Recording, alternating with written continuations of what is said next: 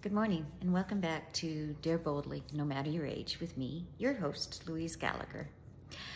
Day 21. Um, this week we're talking about gratitude, and well, gratitude is important. Neuroscientists haven't studied gratitude as much as happiness and fear and joy, but what they are finding in the studies they're starting to do is that gratitude is a whole brain function. It's not mostly the um, amygdala, which is where we feel fear and basic emotions.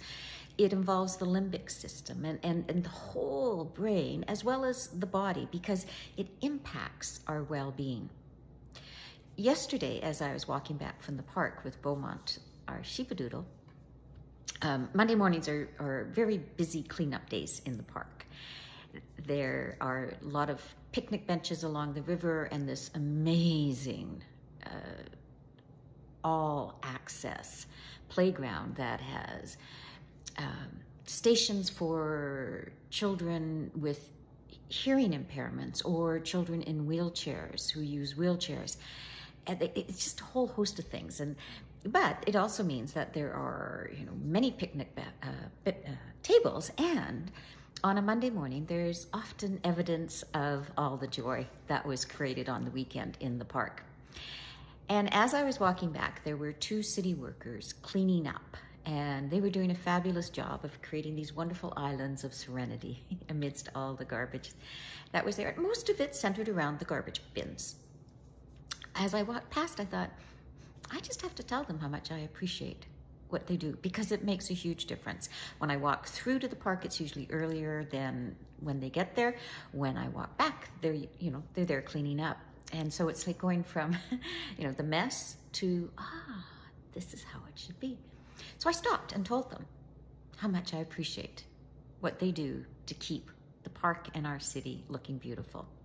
Well, their smiles and their their expression of gratitude for my taking the time to tell them that warmed my heart and I felt good all over. And I thought, you know, sharing a, a gratitude bouquet with a stranger is a wonderful act of well-being for them and myself. And what the studies show is that as we age, we are more adept at feeling emotions such as gratitude and thankfulness and happiness and joy and that we can let negative emotions go more quickly because our cognitive skills actually are greater because we have this wealth of data and information that we can just quickly go through like that and go, nope, that doesn't apply, that doesn't apply. Oh, no, I've experienced that before. It didn't help me. Move on. And so we become more adept at feeling these emotions and expressing them if we take the time. So today, I invite you to take the time to express gratitude to a person you know, people you know, and to strangers. Spread gratitude like wildflower seeds. Just wait, you know, spread it and the beauty will rise up. I hope you have an amazing day.